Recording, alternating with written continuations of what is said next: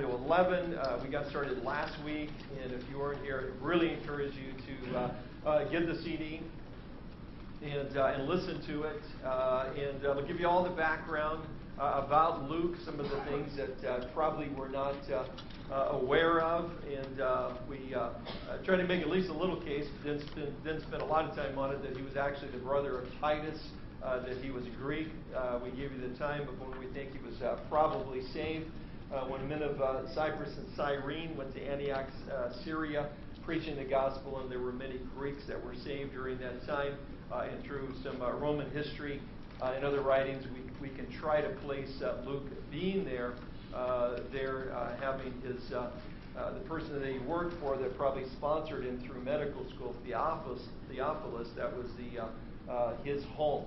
Uh, we talked about the fact that he is uh, writing this now uh, on the heels of having written the Gospel of Luke to this same man, uh, introducing him in the first Gospel as most excellent uh, Theophilus, which we said was a government Roman title. So he's a he's a Roman official. Uh, when he writes here, as we saw last week, he just basically says Theophilus. So certainly something that's changed and transpired after this man received the Gospel of Luke. Uh, and of course, a lot of writers uh, believe that it's because he's come to faith in Christ, so there's just a different relationship between the two of them. We talked about the fact that Luke uh, was the one guy that was with Paul through it all. Now, we'll see a shift in chapter 16 as he'll go from uh, from second person to uh, first person plural. He'll then say, We did this, and we went here, and we saw this, and so forth. So Luke is right along with him uh, in the shipwreck, in the imprisonment, and so everything that takes place after chapter 16. We also talked about the fact that uh, uh, one of the uh, cross references in the epistles, he mentions the fact that uh, Luke is a fellow laborer uh, along with the others that are really part of his ministry team that he had developed. Therefore, Luke is not just Paul's private physician, which, which the man probably needed many times as he got beat up. Uh, but he's actually somebody out there preaching the gospel as well, which again makes him the first medical missionary uh, as well. Not, not saying that tongue in cheek, that's really who he, who he was. He was a doctor. Uh, he didn't just uh, practice medicine and help people, but he was out, out there evangelizing as well. And then finally, he is the one guy that is left, if you read the end of 2 Timothy, uh, when, when Paul is writing to, to Timothy uh, from the Mamertine prison there in Rome, which is basically, a, as we said, a hole in the ground. That is uh, still there today. And re- he remarks that uh, uh, the only one left with me at this point is Luke. And uh, Luke is there with him to the very end. Uh, Luke is the one, according to church history, that buries the body of the Apostle Paul when he is beheaded outside Rome, approximately 68 AD. That was our little background uh, we get here to a very important uh, part of Scripture because we hit verse 8, which helps us outline the book. Certainly, uh, it, it is uh, pivotal. Uh, it's so important, uh, as we'll see from Jesus, that he did not want these guys to even go out and begin to evangelize the world until the Holy Spirit had come upon them. The first verses 4 and 5, we'll look at the request of Jesus to wait and make reference to why that was so important. Verse 68, we'll see the specific reason the gift will be given. Uh, and then verses 9 to 11, Jesus is received into the heavens. So let's jump into verse 4. And being assembled together, he commanded them not to depart from Jerusalem, but to wait for the promise of the Father, which he said, You have heard from me, for John truly baptized with water, but you shall be baptized with the Holy Spirit, and not many days from now. So the request here is to wait for the promise Verse 4, it's the promise of the Father. Uh, I've used the word request because uh, that was just the best I could do. It's a command. He just commands them, you'll see, uh, to just wait. And wait for a specific day. The Spirit is coming. You won't have to wait very long. It's coming on a specific day. It's coming on the day of Pentecost, so 50 days after Passover. Uh, Jesus, according to Luke, appeared them for over a period of 40 days. So it wasn't very long uh, that they needed to wait in this upper room for the outpouring of the Holy Spirit. Uh, again, the Spirit is given by God's sovereign grace. Uh, they receive it not somehow because of their worthiness, but again, just by the grace of God, as each and uh, every one of us receive it today. Uh, I'll quote several times from R.A. Torrey in his classic work, but on this subject, uh, he says there's an apparent uh, imperative need that something be done at once. The whole world was perishing, and they alone knew the saving truth. Nevertheless, Jesus strictly charged them wait. What a testimony to the all importance of the baptism with the Holy Spirit as a preparation for the work that shall be acceptable to Christ. In other words, we could say, to use a figure of speech, the world was going to hell in a handbasket. And there's a handful of people that know the truth of how to get saved. And Jesus doesn't say, get out there and start telling them the truth right away. He says, no, don't go anywhere. Don't do anything. You go there and wait for the Holy Spirit to come upon you. Uh, fairly important then. Uh, if it's important for them, certainly it's important for us as we'll look at the reason for the baptism of the Holy Spirit. Uh, the, secondly, the request is to wait. And, uh, and so uh, it's compared to baptism.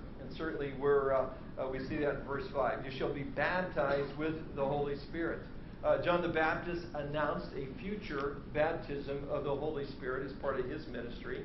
Jesus had promised the uh, coming uh, of the Holy Spirit uh, uh, and went into great detail in what we call the upper room discourse. So, John 14, 15, 16, uh, he goes through a lot of information trying to prep these guys in that upper room for his soon departure and help them understand the importance that the Holy Spirit would, uh, would play in their lives. He'll lead you into all truth. He'll be your counselor. He'll show you the things of me and make them known to you. And he goes through some very important things about the work and the ministry of the Holy Spirit that certainly is for them, but also for us. We'll make reference to a couple of those verses as we go along.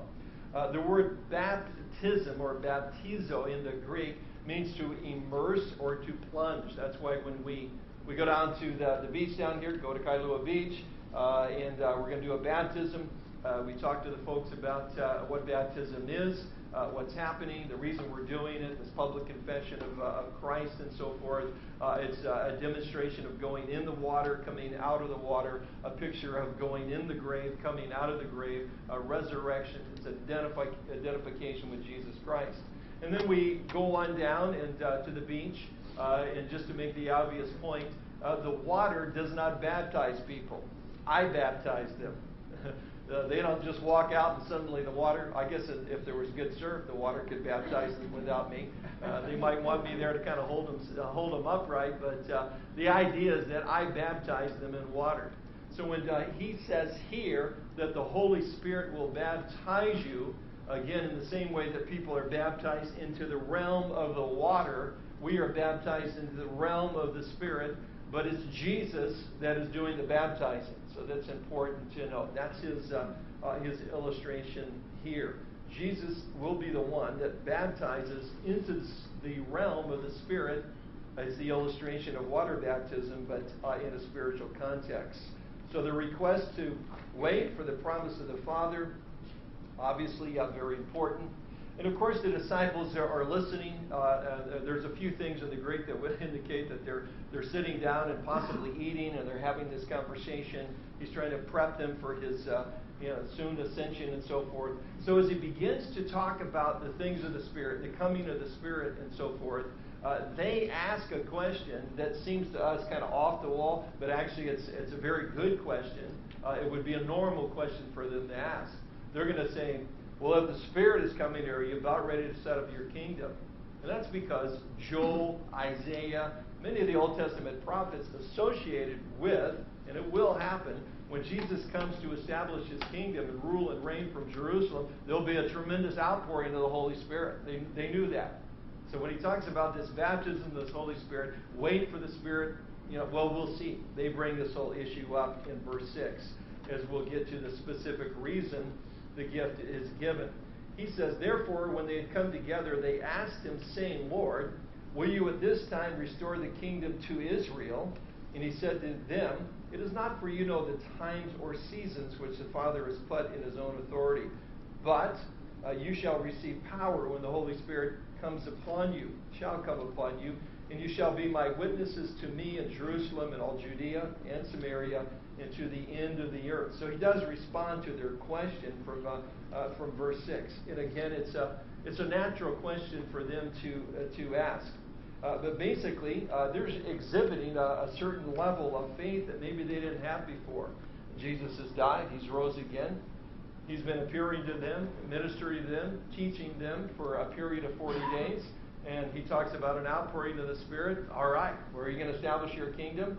Because we believe you can. And we believe it's just a matter of if it's God's will, and this is if it's God's time. We believe you will.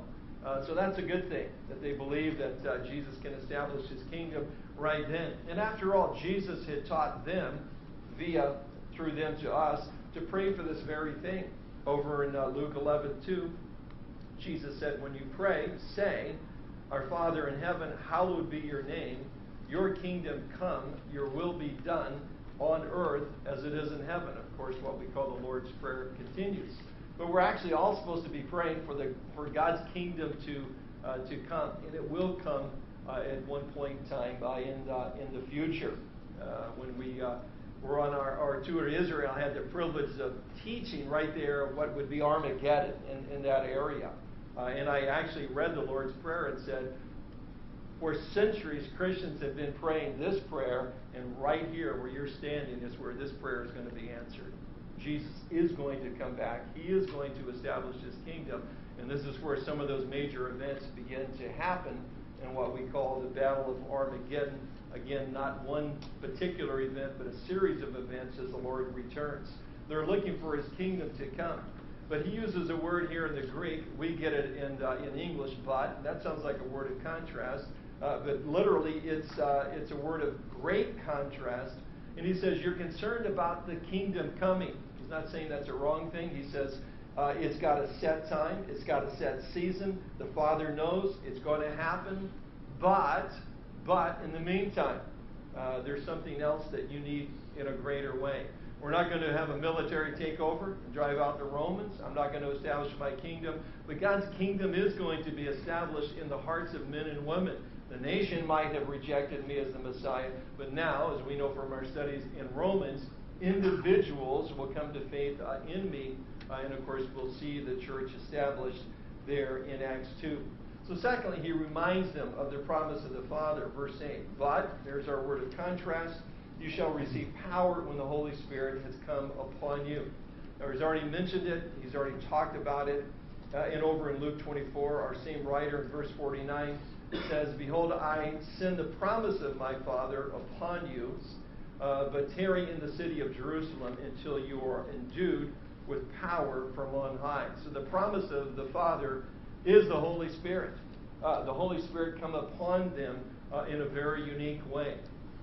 And here's where we want to kind of make a distinction. We would say, according to the scriptures here, that the Holy Spirit coming upon them is a different and subsequent experience apart from salvation itself. Over in John 20, uh, we'll see that the, the apostles, the believers here, have already been, we would say, born again of God's Spirit.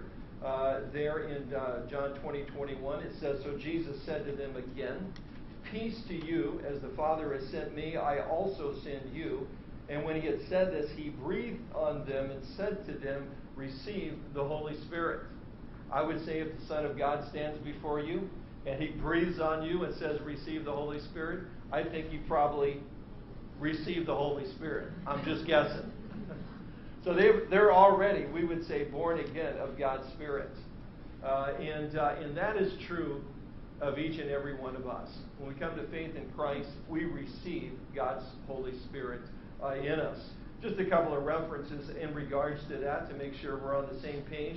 1 Corinthians 12, Paul says this For by one Spirit we are all baptized into one body, whether Jews or Greeks, whether slaves or free, and have all been made to drink into the one Spirit. In Ephesians 4:30, Paul says we're all, as believers, sealed with the Holy Spirit. So when you and I uh, whether we got down on our knees, said a prayer in our bedroom at home, walked forward at an altar call, whatever it might be, or we said, Lord Jesus, I pray that you would forgive me of my sins, and I place my faith in you and your death on the cross for my sins, and I believe in your resurrection. Come in and cleanse my heart and uh, make me new. Uh, God then does several things. Again, from our study of Romans, He gives us a new nature, uh, but He also gives us the Holy Spirit. Paul makes reference to our bodies are the temple of the Holy Spirit. So, like the apostles in John 20, all of us, when we come to faith, receive the Holy Spirit. Now, we spent even some time talking about what happens then. The Holy Spirit works in us to conform us to the image of Jesus Christ. We did a whole sermon along with our Roman study uh, about walking in the Spirit from 2 Corinthians 3.18. We, with all unveiled faces, all reflect the Lord's glory and are being transformed into his likeness by the Spirit. Uh, Old King James says, from glory to glory, from strength to strength.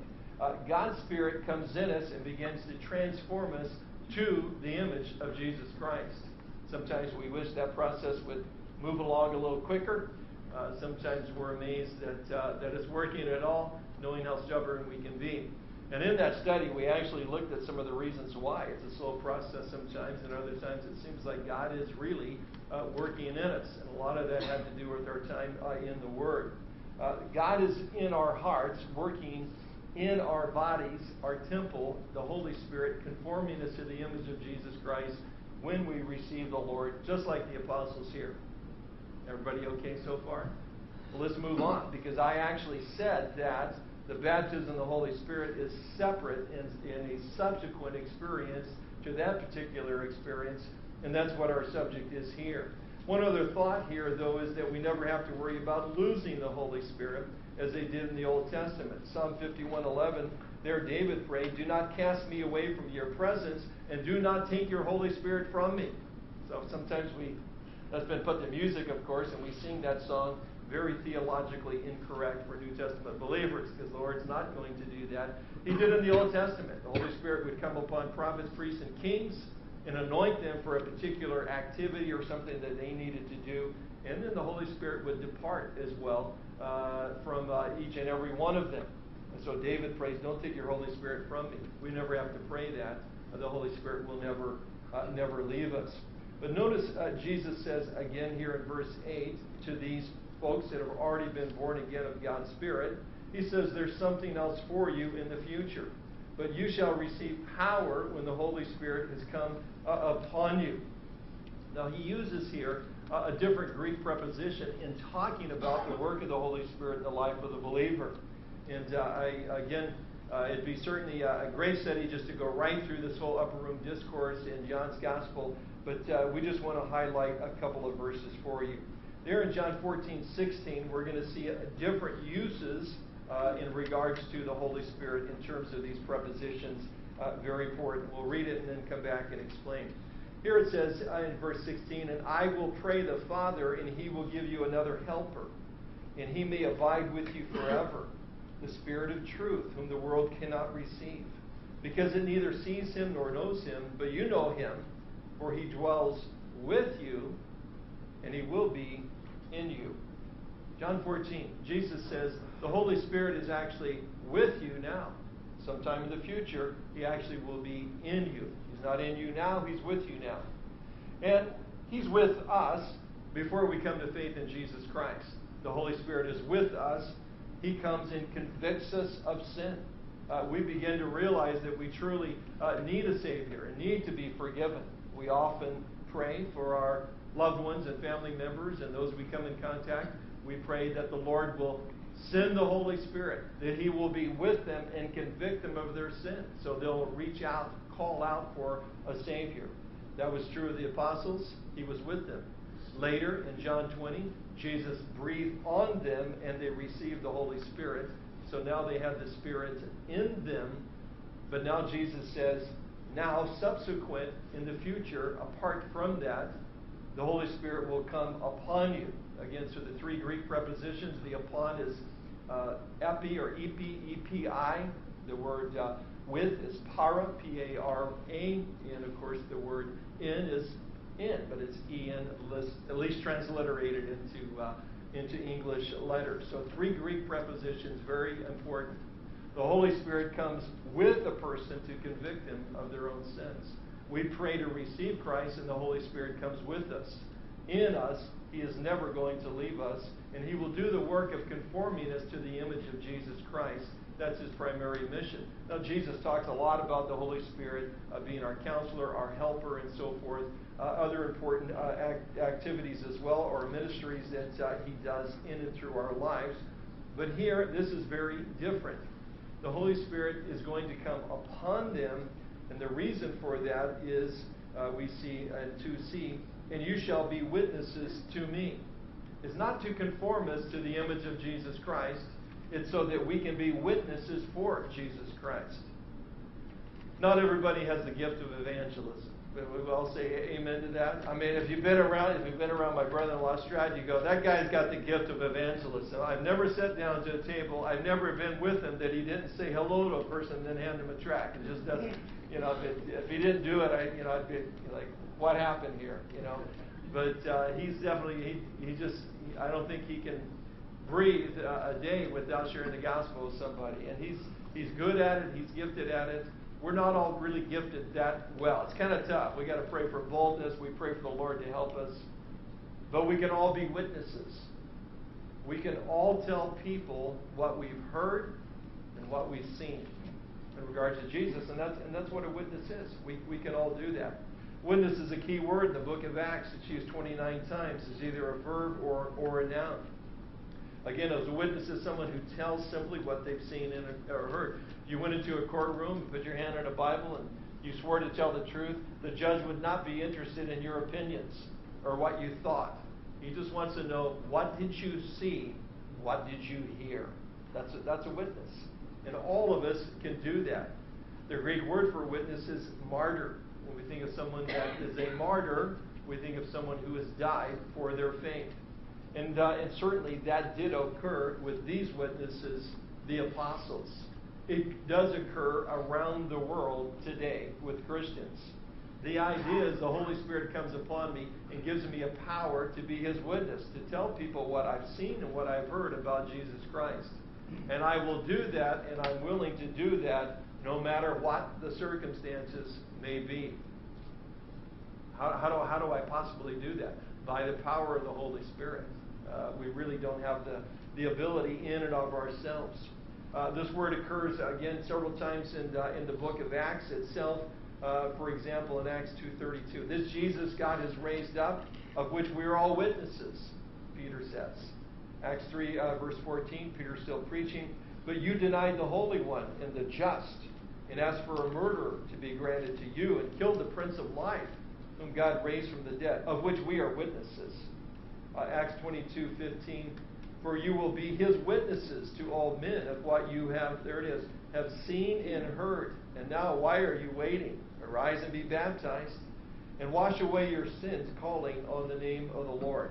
To be his witnesses, his credential, his uh, evidences, his arguments to those that are around us. Uh, is the idea that uh, we need a power to come upon us from the Holy Spirit uh, to be able to, to do this. And what do we say? What have we seen and heard? Something of marvelous simplicity. That God loves people. And we've come to experience that, and we know that. Fact, uh, that's the Hawaiian word for the God that we worship, Aloha Keakua. He is the God of love. That's a very simple message to deliver, especially to people in, in this culture, to understand that uh, uh, who, are, are just starving and want to know that somebody somewhere does love them. Oh, that's the simplicity of the message. But there's a problem because we've been separated from that God because of our sin. Not only the things we've done, but the things we haven't done. As Jesus says in the Beatitudes, even the things that we've even thought. Our sin has separated us from a holy and a righteous God who is a God of love. His solution was uh, to prevent us from being punished because of that sin, to send his son to die on the cross for our sins so that we might be forgiven. We simply place our faith in Him and we're forgiven. That's the message. You know, it's, it's a simple message. Uh, but it certainly takes, uh, takes courage. Uh, and it takes a, a, power to come upon us to be able to faithfully deliver that message uh, each and uh, every day. But it's why Paul was able to reach the Praetorian Guards, these, we would say, special forces guys within uh, Caesar's own household at times, these guys are the cream of the crop. Uh, they've seen a lot, a lot of combat, a lot of battle time. Many of them came to faith in Christ from this little, this little bent over Jewish guy who was kind of an intellectual type, not your warrior type, but he just delivered a simple message, uh, endued by the power of the Holy Spirit. George Whitefield was a great preacher of uh, what we call the Second Great Awakening. preaching not only in the United States but also uh, in, uh, in, uh, in Great Britain. Uh, but uh, didn't do a lot of his preaching uh, in churches. he would just go out to where the people were. So if he was trying to reach farmers or coal miners, he'd get up and preach at 5, 6 in the morning so they could hear him before they went off to work because everybody still had to, had to work that day if they, if they wanted to eat. So it was uh, an uncommon sight to see people uh, uh, headed down cobblestone streets to the edge of the town to hear a guy named George Whitefield preach the gospel. What was unusual that on a given morning, a man named David Hume, a famous Scottish philosopher and a critic and a skeptic of the Bible and of uh, all of Christianity, he also had gotten up early to head down to hear George Whitefield. When asked about it, one person said, I thought you didn't believe in the gospel. And Hume replied, I don't, but he does. He was, he was so courageous in his faith and proclamation of the gospel that even David Hume wanted to hear him. I don't believe it, but I got to hear this guy because he believes it. That's somebody that's had the Holy Spirit come upon them, and they're just simply telling what they've heard and seen. Again, the command to be Christ's witness is, uh, is not an easy thing, uh, but it becomes a much more natural thing given the Holy Spirit coming upon us. And I, I have to just tell you one story. I remember uh, Greg Laurie sharing a number of years ago. Uh, you know, he got saved at uh, Harbor High School there in Southern California. Uh, you know, some kind of a noon, noon kind of rally thing and stuff, and eventually found himself at uh, uh, Calvary Chapel Costa Mesa. Heard a message like this delivered and uh, went forward uh, into a prayer room to uh, to pray. And you know, he didn't really know what, what to expect. He didn't really know much about Christianity, so he didn't really know what to expect or anything uh, he had heard, heard, stories of other people and men had great experiences and so forth. And you know, he didn't know if he'd hear a choir of angels when somebody prayed for him. Uh, he'd hear uh, bells ringing or, or not. Uh, but if you need to hear it, the bells actually have an app for it on my phone. So I kind of a little chiming going on uh, while we're praying if, uh, if that helps you. but he says, I, I didn't experience anything. Guy prayed for me. Okay, hey, thank you, great. and then he left. And this is kind of going going back a long time, so I kind of fill some of the uh, you younger folks in. Uh, there was a time when, if you wanted something uh, late at night to eat, there was only one place you could go. The only place open was Jack in the Box. That was their thing. Everything else closed early, but Jack in the Box was open late. So he's going to Jack in the Box. But also in those days, uh, the early days of Jack in the Box, where you drove, drove through to order, it was actually a Jack in the Box. I mean, it was you know, the Jack in the Box, and uh, you know, Jack in the Box. Uh, you should have a visual. But uh, Anyway, Greg said he, his little beat up rusty Volkswagen, pulled around uh, to the drive through, fresh from having been prayed at at Calvary Chapel, Costa Mesa. And he's not really sure what happened, uh, but he spent about 15 minutes witnessing to uh, Jack in the Box. Somebody on the other end of it, but he's just witnessing to the Jack in the Box. And then he realized something had transpired because he'd certainly never never done that before dramatic change in his life. I, I know even for, for myself, I remember the first time I was at Calvary Honolulu, I heard a message like this. Pastor Bill prayed just, you know, for everybody at the end. And I, I prayed and uh, just, you know, thought that was great. You know, that was awesome. I, you know, I just, whatever. I just want whatever the Lord's got for me. And I need all the help I can get, I figured, you know. And, uh, you know, I've kind of wasted enough of my life. I want to try to do something for the Lord. Knew I couldn't do it on my own. So, uh, yeah, I'll, I'll, I'll give me one of those, you know, and, uh, I may have to pray for that uh, each and every day. Well, I remember we were doing a, uh, still doing crafts fairs back in those days. Kathy and I uh, doing her uh, sewing dresses. I was still building uh, stained glass windows and did a bunch of gift item stuff to sell. Anyway, where where I'm I'm find myself sitting in the lawn on Sunday afternoon or over the weekend, and I'm I'm talking to this guy. I've known him for years. Jewish guy, investment broker, uh, very intellectual, highly educated, like the last guy on the planet that I would ever share my faith with, right? And yet, here he was. I, I don't even know how we got there, but I'm, I spend like 30, 40 minutes sharing my whole testimony, sharing the gospel with him. He was, seemed very interested, asking lots of questions. And I just remember like thinking, well, that was awesome. And walking back to where my booth was, then I was uh, neglecting my customers by at that point, so I was walking back in that way. And it just kind of occurred to me, I can't believe I just did that. You know, and I, I realized that think I got baptized in the Holy Spirit. And I think God gave me this power to be a witness for Him. Uh, and I could go on and on with, uh, with the stories. Uh, again, what would come upon them? Uh, well, he could have used a couple of different words for power. He could have used kratos in the Greek, which means authority or domination. But of course, he uses the Greek word dunamis, where we get our word in English uh, dynamic or dynamite, uh, actually. A dynamic power is what would come upon us. Uh, it's a power that was always available. Uh, you know, the Holy Spirit is the third person of the Trinity. It wasn't that it wasn't available, but uh, man had never been baptized into the realm of the Spirit uh, to be able to experience this for himself and have this kind of result in terms of sharing the gospel of Jesus Christ. Well, how was the results? Well, Jesus gives the results, and he says it's going to be worldwide. Verse 8, you shall be uh, witnesses to me in Jerusalem, in all Judea and Samaria, and to the ends of the earth. So uh, this had this was like a shocking statement to, to the disciples. You know, just keep in mind this is very early on. Uh, their concept of, uh, of Christianity, what we call Christianity today, is it is another sect of Judaism. And as far as they're concerned, the only people they're going to be sharing the gospel with would be other Jewish people. Uh, and it's like that for, for a while. I mean, they, they kind of had to get some, uh, uh, some things straight in their own mind through the scriptures, through the experience of going up and seeing what Philip was doing in Samaria.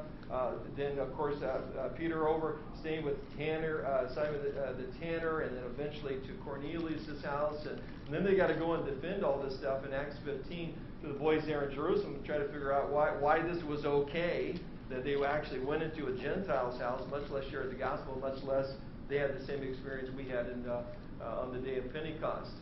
so Jesus is saying, yeah, well, you're, you're going to go Ju- Jerusalem, got that.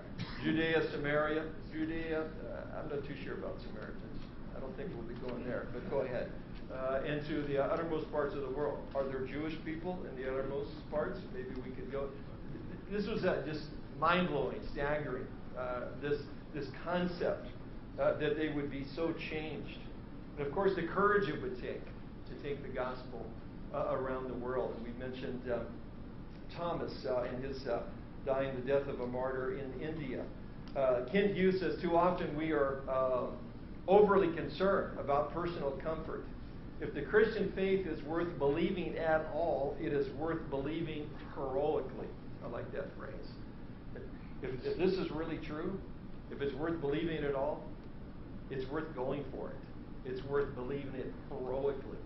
And of course, we had some wonderful examples of that through the testimony of Wes Bentley being with us here uh, just a few weeks ago and, uh, and what those chaplains do for the uh, South Sudanese Army, who their last class before they graduate is a class on martyrdom. So they're, they're ready for it when it, uh, when it comes their ways. When the Holy Spirit comes upon the followers of Christ, the most unlikely people in the world become powerful witnesses for Him. And all I got to say, I'm just glad Jesus picked a bunch of bumbling idiots to be his uh, his apostles. Otherwise, it, it would have been discouraging, man, if he'd gone to Jerusalem and got the cream of the crop, man. Uh, these guys are just fishermen. They were just kind of uh, tough guys, you know, out there in the sun working all day for a living. These are the guys that no rabbi said, "Come follow me," and they were pretty shocked when Jesus said it to them. Uh, and yet, their lives are radically different uh, again once they are baptized in the Holy Spirit. So the request of Jesus is to wait. Uh, obviously, very important. The specific reason uh, is because of the promise it, uh, of the power of the Holy Spirit to be a witness, uh, and the results would eventually be worldwide. And it was, of course, to their known world, to what they knew, their known world, the Roman world. They, they took the gospel to their known world in, in one generation. And certainly a lot of that was uh, cross cultural. Uh, the third thing here is Jesus is received into the heavens, verse 9 to 11. When he had spoken these things while they watched, he was taken up. And a cloud received him out of their sight. And while they looked steadfastly towards heaven as he went up, behold, two men stood by them in white apparel, who also said, Men of Galilee, why do you stand gazing up into heaven? This same Jesus who is taken up from you into heaven will, will so come in like manner as you saw him go into heaven. So again, it's a cloud uh, that receives him. Uh, we see in verse 9, Uh, again, we don't really uh, get it uh, in the English, but uh, in the Greek, he was very gradually taken up. So, you know, the movies or the flannelgraph, they kind of kind of get that. It was a very gradual thing they were watch, uh, watching happen. Uh, it could have just been a, normal cloud, could have been a cloudy day, but uh, I uh, personally think it was the Shekinah glory of God, God's presence uh, that we see many times in Scripture in the form of a cloud. Uh, it was a cloud that led the children of Israel by day through the wilderness wandering. Uh, it was a cloud that stayed over and signified God's presence over the tabernacle. Uh, and when God's presence left the temple uh, prior to its uh, destruction, uh, Ezekiel saw uh, God's presence in the form of a cloud leave the temple, go up to, uh, through the east gate, up the Mount of Olives, and then up into heaven. And of course, it was a cloud, a special cloud, again, the Shekinah glory of God, that was over what we call the Mount of Transfiguration, when Peter, James, and John had the testimony of, of Moses and Elijah appearing and of course, uh, the words, uh, This is my son, uh, listen to him or obey him, uh, all involving a cloud. So I think this is a, a, supernatural experience, and it wasn't just a cloudy day. Jesus received, but there's an exhortation to the disciples in verse 11. Uh, why do you stand gazing up into heaven? It's almost kind of comical. You can imagine these guys. They're they're watching Jesus, and he's going. I don't know if they're crying. I don't know if they're weeping. I don't know if they're just like, man, I can't believe this is happening. Are you seeing what I'm seeing? You know, as this whole thing didn't just happen real fast. They're just kind of watching it, uh, and then these two guys show up. And uh, I uh, suspect that they were angels. They kind of exhort the apostles, and they're kind of like, hey, whatever you say. And uh, I don't know if white was a big color in the first century for guys. I'm just thinking it's not, you know. And so there's a little designation here.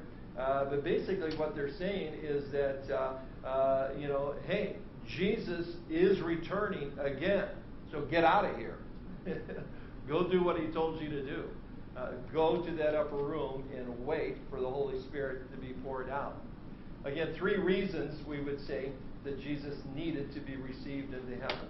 One is that he might send the Holy Spirit. He'd already told them that in John 16, 7.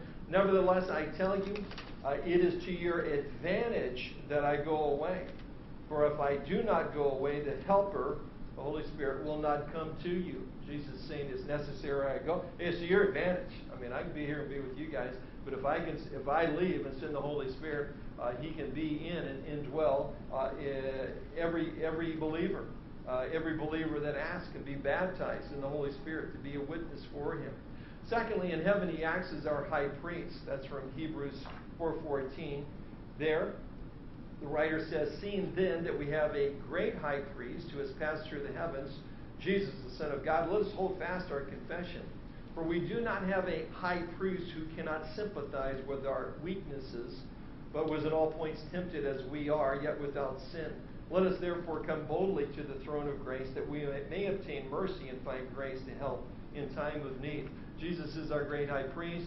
He is the one that can stand before God the Father on our behalf uh, perfectly because he became a man. He was tempted in every way. He's experienced everything that you've experienced, uh, at least to a general sense. He understands.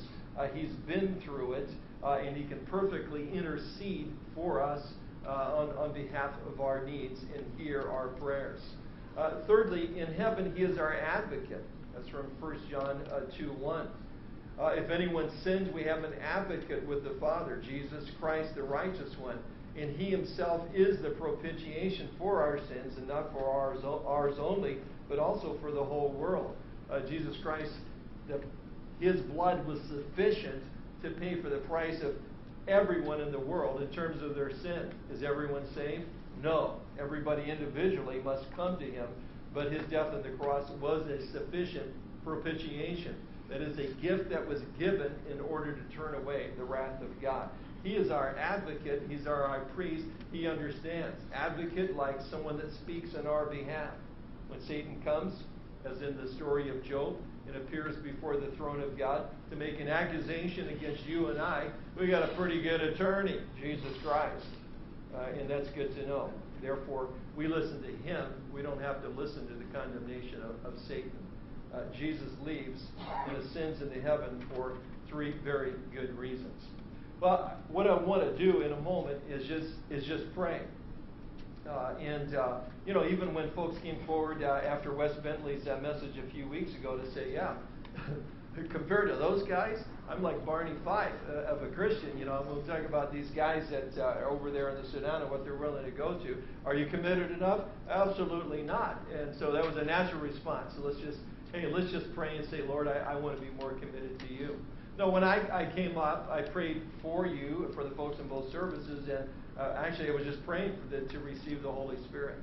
Uh, there's a lot of us that have come to faith in Christ, uh, and at some point in time, uh, we've prayed this prayer. We've prayed to be baptized in the Holy Spirit, to be filled uh, with the Holy Spirit. Uh, and in reality, I appreciate what Pastor Chuck said at a, at a walk conference probably a decade or so ago when he was with us. he gave a message again similar to this and said, said, you know, some people call it the baptism of the Holy Spirit, a second filling, a second work of grace. He says, you know what? I don't care what you call it, just get it. You know, and that's our only concern here, so that we can be witnesses for the Lord. Uh, the point I'm leading to is that we'll find the apostles, the disciples, asking to be filled many times, over and over and over again in our study of the book of Acts. So it is generally, it is generally an experience subsequent and apart and different from that of salvation. Is it always? No, we're going to see Cornelius. Peter preaches, and boom, they get the whole. I want to say the whole enchilada. That that's probably not the best metaphor, but they get it all at, at one time. Uh, the Holy Spirit can do whatever He wants to do, and uh, possibly that's that's happened to somebody here. So whether it was there or it was later, uh, we still need to keep asking to be filled once again. But if you've never been asked, to, Lord, baptize me in your Holy Spirit, what's going to happen? Well, we pray that He gives you power so that you'll love other people the way that He wants us to love them. So that we'll be a witness to be able to tell what we've heard and what we've seen. And, uh, and it's difficult to do it without it. How critical? Well, with His own disciples, He said, You just go and wait till this happens.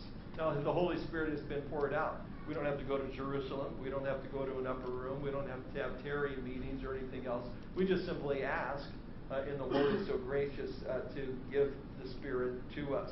But let me read one example to you uh, of the book of Acts and how these men and women continue to ask for and receive the Holy Spirit. In Acts 4:31 it says, "And when they had prayed, the place where they are assembled together was shaken, uh, and they were all filled with the Holy Spirit." and they spoke the word of God with boldness. They were filled with the Spirit once again. Verse 33 And with great power the apostles gave what? Witness to the resurrection of the Lord Jesus, and a great grace was upon them all.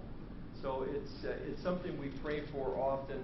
Again, a, a couple more R.A. Torrey quotes. I can't help myself. He says, We need to be filled again and again and again with the Holy Spirit and sometimes ask, Have you received a second blessing? Yes, and a third, and a fourth, and a fifth, and hundreds besides. And I'm looking for a new blessing today. That's, uh, that's the attitude we should, we should have and that we're going to pray for.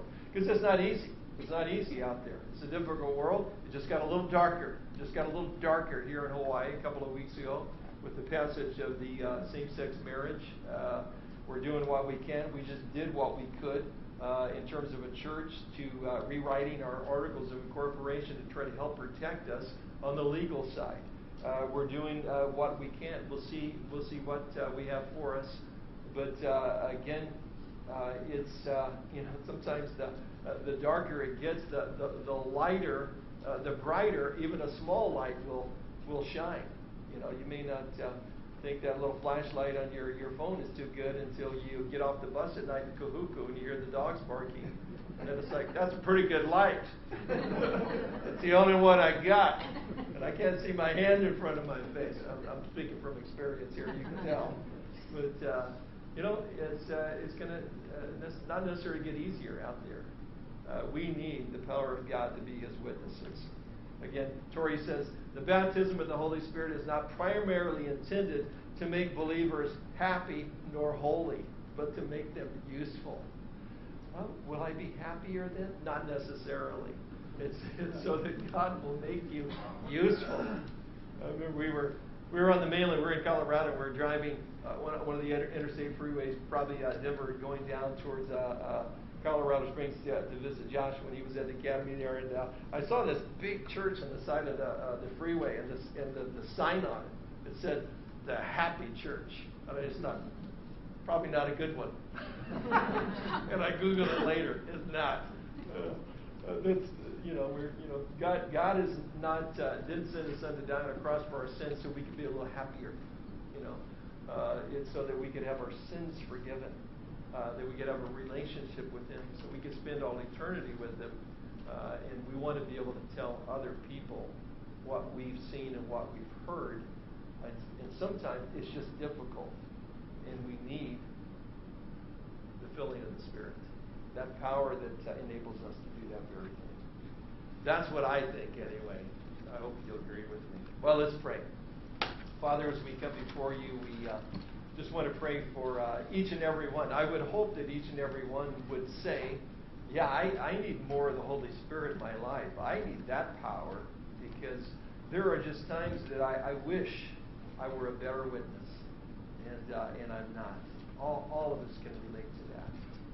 Lord, so I pray for uh, anyone that, um, Lord, they, uh, they know you already, but, uh, and this is kind of a new, a new thing but it's just uh, it's a Bible thing. It's right there in, in the book of Acts, and we're going to see these men and women used tremendously by you, and we're going to be inspired and excited by their lives. But it's just not a story of inspiration. These are examples. This is here to teach us, so that we, like them, could literally turn our world upside down for you. So we pray for those that maybe have never prayed this prayer before, and we pray for uh, everyone else that maybe has prayed many times, Lord, fill me afresh uh, once anew. Sometimes we even sing that uh, in our worship songs. And so, Lord, we just come to you now. We pray that you'd baptize us with your Spirit, fill us with your Spirit. We might have that dynamic power. Lord, so that our, our witnessing uh, for you, our giving our testimony, or just sharing about you, it would just it would just be the, the most natural overflow out of our hearts, Lord. You'd fill us with your love. Uh, that love would then overflow to others around us. Lord, that's what we uh, long for. That's what we're asking for. And that's what you, you promise to give in the scriptures. So, Lord, by faith, even as the way that we are saved, we pray by faith once again. Just fill us afresh and anew. And we ask this in Jesus' name. All God's people said, Amen.